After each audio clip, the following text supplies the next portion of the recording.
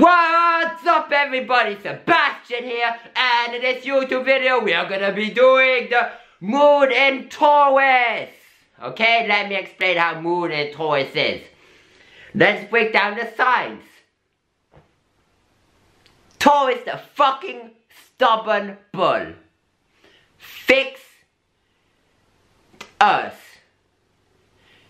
What fixed us?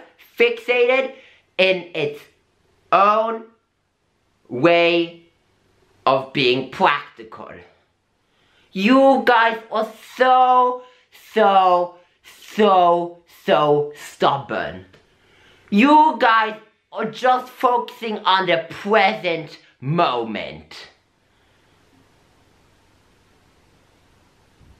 So, uh, Moon and Taurus, they're like, if you ask them advice, like, oh, how do I get out of my comfort zone?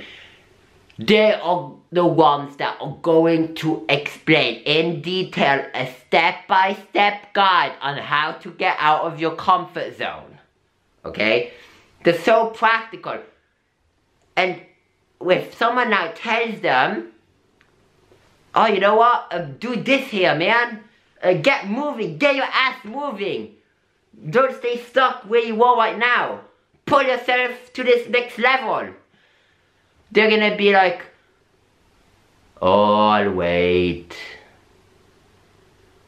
I'll do it when I'm ready. They won't even listen to you.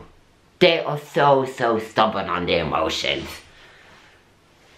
And, and thoughts, you know, like, once their mind is fixated on something, it's very, very, very hard to change it.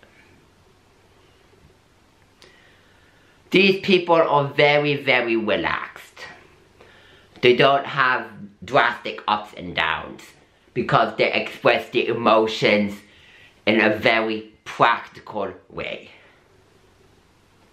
Okay?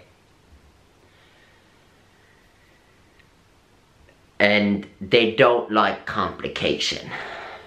They'd rather have someone express something too directly to the point then dwell on it and hold a lot of grudges.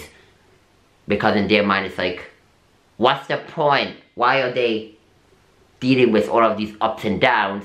Why are they having difficult in that situation, that situation where for me it's like, oh, just express it. And all of the emotions will be balanced, you understand? So I hope you enjoyed my video of Moon in Taurus. Feel free to drop a like, comment, subscribe, share with your friends if you enjoyed, and peace out.